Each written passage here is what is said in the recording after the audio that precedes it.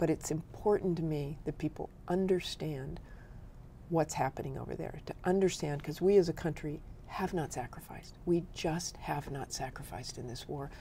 Soldiers and Marines and others fighting over there and the civilians have sacrificed and their families have sacrificed. We as a country were never asked to do anything. So if I can tell these stories about them and cover this war, I think I'm doing something worthwhile. I mean, my kids understand that. My kids understand the sacrifice that others have made. I take them Christmas Eve to Bethesda Naval Hospital to visit Marines. I think that has had a real effect on who they are and and hopefully the Marines that we visited, it meant something to them as well to see us there and caring. So because there isn't a draft um, and it's a volunteer army and, and, so many people are disassociated from the war, your suggestions about getting more involved or feeling more connected? What, visit somebody in a hospital perhaps? It, it's, I, I, think that's actually quite difficult to visit people in a hospital, believe it or not. It, if it's a military hospital, if you know any family who has someone who is wounded, if you, ha- if you know any family who has someone who is deployed, I think as a community, as a neighbor, you do what you can. It's not that yellow ribbon on the back of the car, all right? It, it, it is talking to them, it is figuring out what they need. One of the one of the soldiers who is now a colonel who I wrote about is now headed to Iraq for the fourth time. It's the fourth Christmas he will miss in a row. Is it because of stop loss or he chose? Oh, he chose. I mean, yeah, I mean, he's, he's, a, colonel, he's a so, volunteer. Yeah. He's a colonel. He's going right. back to, to, to take on a brigade. But his family, who are so supportive and live in a military community, they get all the support from the other military. Yeah. But the outside community it, it's just completely separate. Right. And I think they feel it. Well, let's talk about one of the stories you have covered. We have a photo of you with uh, General Petraeus.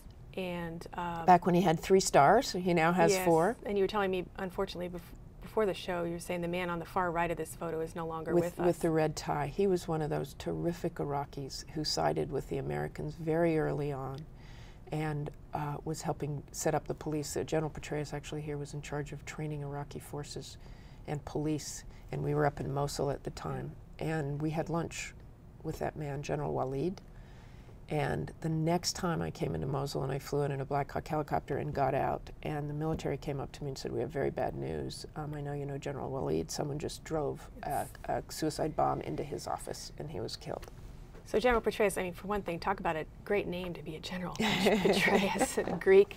Um, has the surge is the search working in your estimation? Is all of his philosophy I, bearing I think, fruit? I think unquestionably the surge has had an, has made the security situation there so much better. Um, the political situation, they still have a long way to go over there, and that's always the question. Wasn't the surge supposed to bring about this political reconciliation? Um, I think one thing that people have to remember is the surge is actually not over. We think it is, but it's not quite over. There are 155,000 troops. Uh, there were 130 before the surge. I think one of the things you see about, uh, you know, will will we draw down immediately after the election, depending on who gets elected? Um, General Petraeus clearly is not drawing down in great numbers. We're seeing some photos of you with, with the military as, as we talk here, and that is certainly one way, probably the main way that you can get around a country this Black dangerous helicopter. is to is to be with the military or as Marines there in as, Iskandariyah. As you've written, um, to go out with a general who is leaving and go to all the forward operating bases with that general is also another way to get some good information. This one by this uh, tank was in the middle of Al Anbar, and I was with, at the time, Doug Vogt, who's the cameraman who was later injured with Bob Woodruff, and Doug and I were, in fact, I just saw Doug yesterday, who is in perfect shape now. It's Wonderful. just amazing. Um, we were talking about this trip because it was 130 degrees out uh, I said, Doug, basically it's the first time I ever lost the hair battle. it was so bad and so hot um, that we were sleeping in the desert. We had nothing with us. They hadn't prepared us at all for this sleeping in the desert that night. This is this is what I call the prematurely named Camp Victory. That is in Baghdad. That's my cameraman Bartley Price. That's not Doug. Um, and Bartley and Doug um, are my principal cameramen over there when I travel. Although Doug is not going back in a war zone, so it's just Bartley.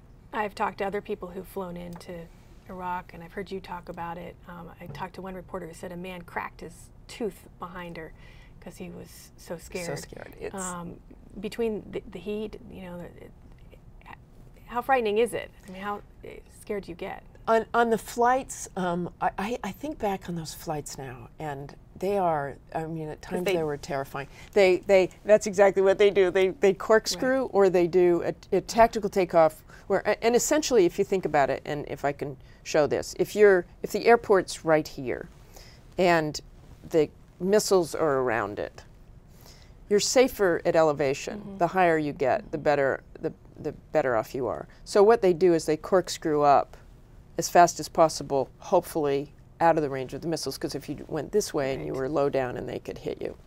So that's what you do. I mean, you I, am very good at talking my way into the flight deck, so at least you have a window. Oh. Because if you're in the back, you know, you're crowded up against the soldiers, and you're basically the little windows on the side of the cargo plane you're looking at, and be, basically I'd, you see the ground I'd the whole sick. time. Yeah, I'd be sick. you see the ground the whole time.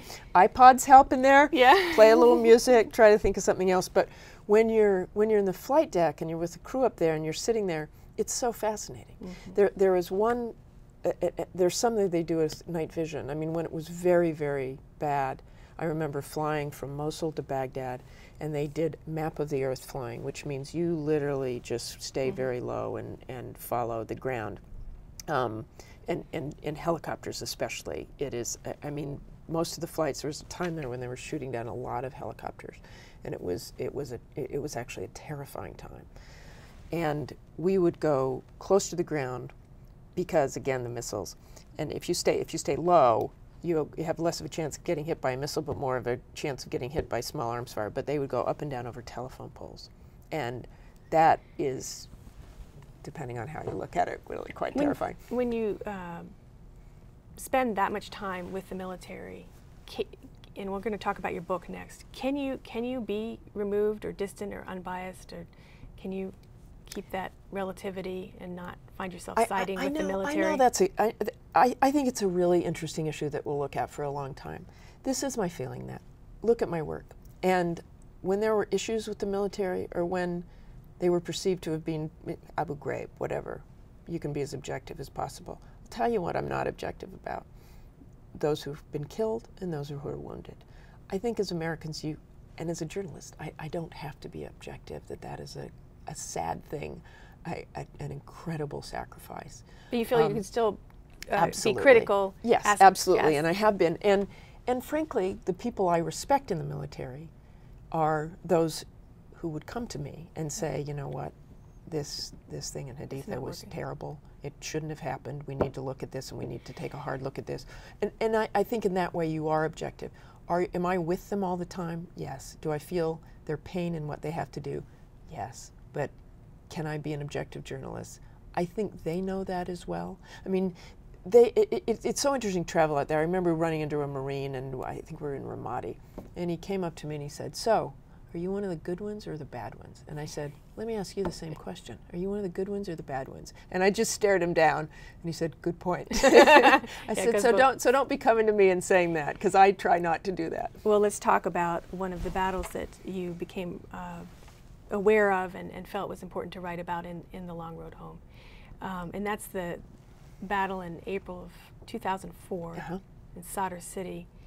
And uh, this was a group, a, a, military group, who really thought that they were going to be welcomed as, as liberators and were kind of doing more of a peacekeeping mission. I think we've got a photograph of the kind of vehicles that they were driving in. Very open vehicles. Yeah, it which, was uh, it was a real change. Quite a target quite the target. And this was, you know, think of the timing. It was it was shortly after a year. It was a Shiite area, and that's especially why the U.S. thought it'll be fine. In that area, um, and the First Cavalry Division had just taken over. Really, literally, when this battle broke out, at precisely the time they came under fire. There had only been one soldier killed the year before, and I always hate to say only because one soldier is one soldier. But they thought they'd be handing out candy. They told their families that. And within minutes, they had eight dead and 60 wounded, the largest loss of life for the 1st Cavalry Division in a single day since Vietnam.